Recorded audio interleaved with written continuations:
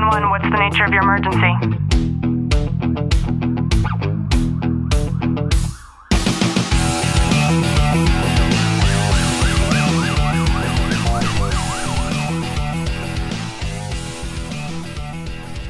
Welcome back to the Tactical Living Podcast. I'm your host, Ashlie Walton, and I am joined with a very distracting Mr. Baby Clint Officer Walton. How are you, babe? I'm good. I'm not trying to be distracting. I'm just trying to focus. You- You're sitting here, and I look over, and you're like flailing your nostrils, and I'm like, what the fuck are you doing? I got a sniffy nose and I'm trying not to sniff on the microphone. Poor guy. A few weeks ago, Clint, you and I talked about whether or not your job as an officer is ruining your relationships. And in that episode, this was episode number 349, we, we talked about the intimate relationship with your spouse, with your partner, the person you might be married to.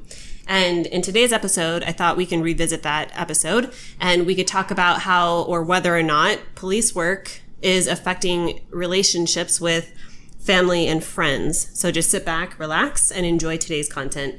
Now, Clint, we can say with without a doubt, absolutely, you and then I can say this as a spouse, you as an officer has impacted our relationships with people that are in our our outside circle, outside of our kingdom. Mm-hmm.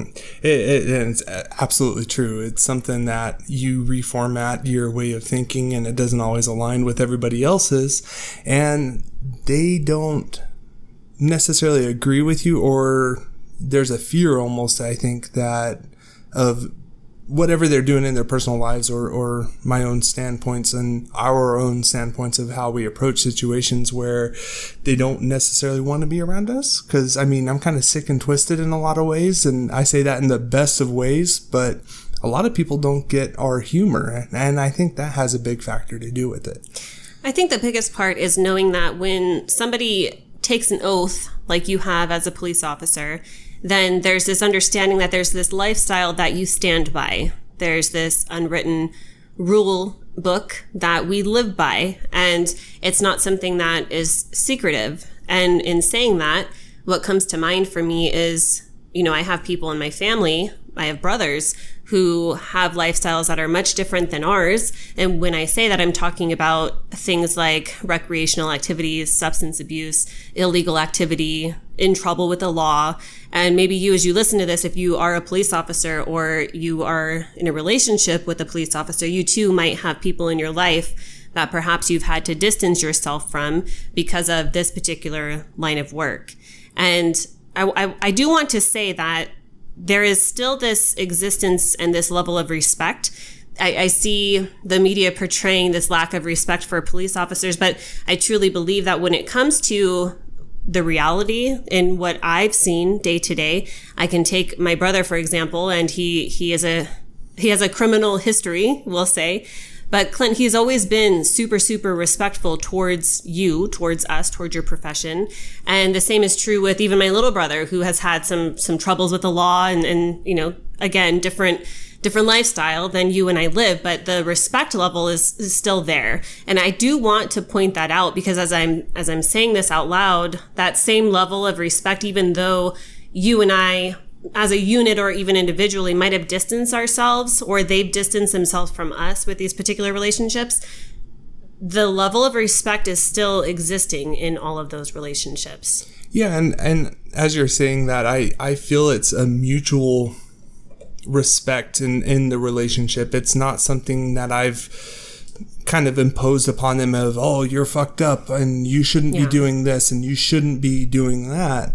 It's more of a we're still family and you don't do this shit around me and I'm not going to arrest your ass. Like or, or try to point out like all the negative shit that, that you could because you're a police officer Yeah, I'm not going to sit there and judge them based off of that. We distance ourselves, they distance themselves, but when it comes down to those family gatherings where we're all around one another, we don't speak on it.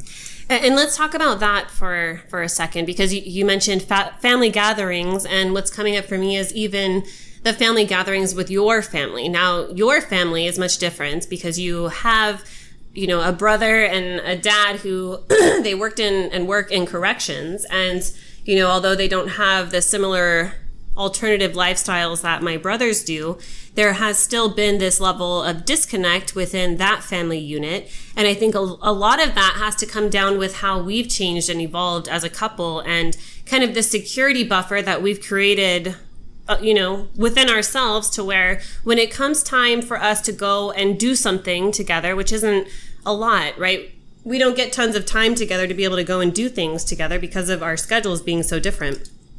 But when we do get to go and do those things, it's always on our schedule. And we no longer articulate what we do based on what someone else, especially in the family unit, tells us that we need to do. Yeah, and it's very important. And, you know, it took time for especially me to realize that and to come to this understanding of our family unit comes first and then everything else is subsidiary. And a lot of people don't like that. Like mm-hmm. they find this route of, well, you're not willing to bend over backwards for me. So that means you just don't want to be around me. You don't want to be part of this family anymore. When that's not necessarily the case at all. It's just more so of figuring out the importance of your own schedule and what you want to walk away with it.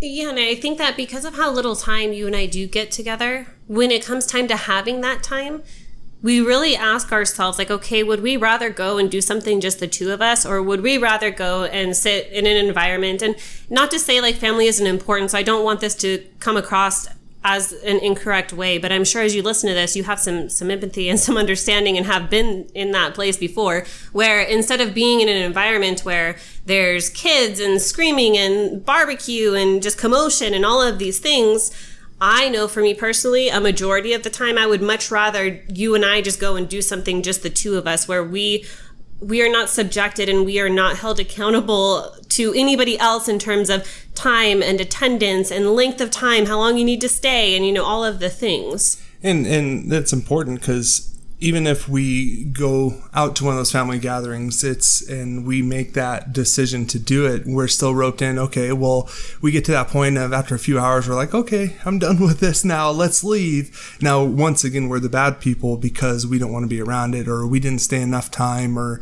we didn't put forth that effort that other people feel we need to meet when there's no truth behind it is we're there we wanted to be there but there's a that line in the sand that we drew saying we're done with it now. Yeah, and some people might take offense to what I'm about to say, and I'm completely okay with that because I know that the people that are not going to take offense are the ones who truly understand what I'm about to say. And when you live this type of lifestyle, we have what I would deem to be an elite lifestyle. Clint and I wake up at three o'clock in the morning. Who do you know that works out at 3:30 in the morning? Who do you know that goes to bed by 7:30 p.m.? And that in and of itself, not even including all of the other things that take place during those waking hours, they make us very much different than what would be considered the typical lifestyle of most people and, and, that's that's the most important thing is just because we're not aligning aligning with everybody else we're different we're the outcasts mm-hmm. in so many ways but it's it's finding that balance of well we're not outcasts they're they've ostracized us in so many ways and but it's it's finding people who align with your own objectives and align with what you want in life and your approaches to things to where they have that understanding. Yeah, and I think that's such a great point because I'm thinking and there there are this grand handful of people that come to mind that I know that I can actually text message at three o'clock in the morning. People that I know are are in the same and, and not to say everybody has to wake up at three in the morning. I'm just saying what, what Clint made mention of is finding people that are in that same alignment. It's not likely that somebody is going to invite us over to their house to have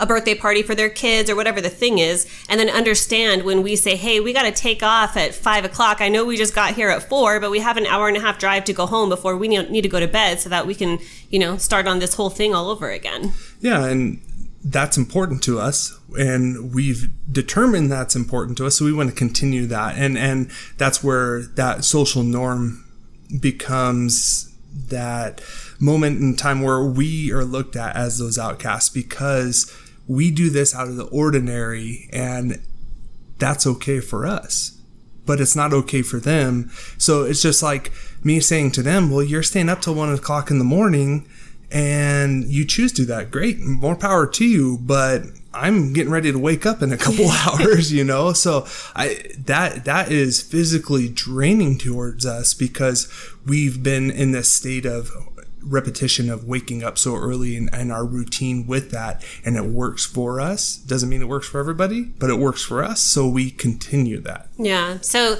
in summary then whether or not police work is ruining your relationships with your family and your friends it very well might be. However i would ask you to truly consider what it is that you want for yourself before considering the opinions the thoughts and the requests of other people. And if you need permission if you feel like it's deemed appropriate for me to give you the permission that you need in order for you to be able to tell other people no and to put that elite lifestyle, whatever that elite lifestyle is for you, frame it that way and know that the way that you're operating is going to be different than everybody that you're around. And that is okay.